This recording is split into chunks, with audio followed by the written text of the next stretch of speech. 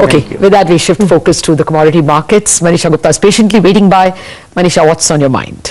Crude oil prices, Lata, because we have seen constant gains into that one. And this is the third straight week that we have seen gains continue in case of the crude oil prices. We are trading at a two-month highs and $64 per barrel is back in case of the Brent crude prices on your screens. The quarter percent decline, as we've been talking, is because the U.S. weekly inventory data is today in the evening and the markets are readying themselves for 3.6 million barrels of an increase on a weekly basis. And that's what's pulled the prices down. But then there is concrete uh, conversation progress now that we've seen between U.S. and China that has been keeping the prices higher. It also has to do with the OPEC meeting in Vienna on 5th and 6th. There will be a joint secretarial meeting first on 4th and then 5th is an OPEC meeting and 6th December is the OPEC and allies meeting. So that is where they will decide on their strategy for 2020 in sense of agreement on output.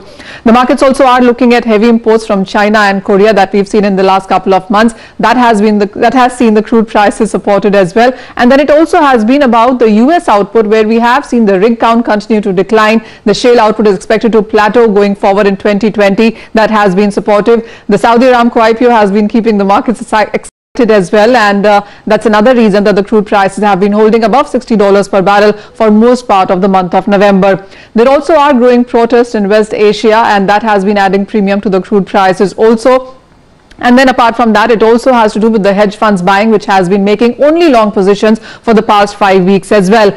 Uh, the most important other thing to watch out is for the IMO 2020. That is a new shipping rule that kicks in from 1st of January 2020. And that would mean that a lot of sulfur crude would go out. The refining demands will go up. And that is one thing that these markets will quite keenly watch out for. Buying strategies is what we have in case of the energy prices today. IndiaNivesh advises you to buy in crude oil prices for 4,180 is the target onto that one. There also is a buy target for silver prices. 44,700 is the target onto that one for the day. All right, uh, Manisha, thanks a lot for that. Well, the dip in the oil marketing companies because of the surge in crude prices has been used as a buying opportunity. So look at stocks like BPCL, HPCL, all off from their lows. That's the place to be in for traders this morning. But let's take a quick break.